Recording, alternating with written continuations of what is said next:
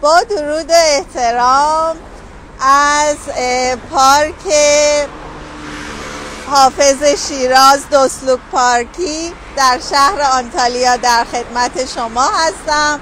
مجدد سال نو رو خواستم تبریک بگم خدمتون این پارک رو در منطقه مراد پاشا توسط شهرداری این ناحیه سال گذشته ما حدود یک سال پیش افتتاح کردیم. یکی از تنها شهرهایی هست که پارک ایرانی نه فقط یه دونه دو تا پارک ایرانی ما در آنتالیا داریم و جزو معدود شهرهای دنیا از این بابت هست. بریم با هم پارک رو ببینیم.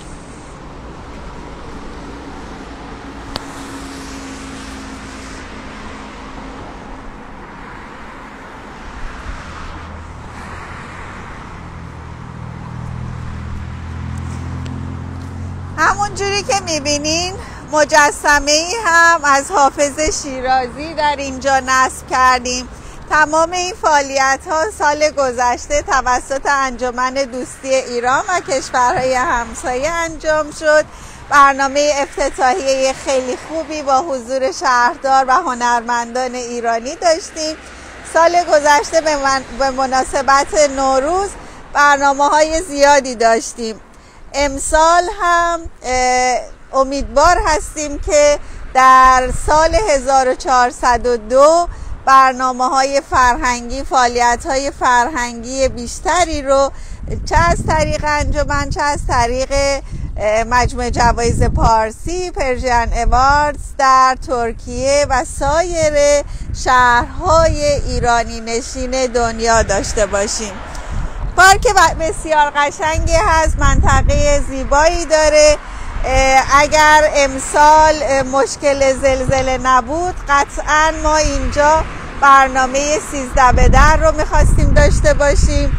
ولی با توجه به اینکه تمام برنامه ها حدود برای مدت سه ماه کنسل شده صلاح ندونستیم و قرار بر این بود که فستیوال سالانه ایران هم با برنامه های مختلفش با برنامه های ام از نمایشگاه ها و فستیوال ها امسال برنامه های زیادی رو داشته باشیم. ولی با توجه به شرایطی که بود برنامه موکول به سال آینده شد.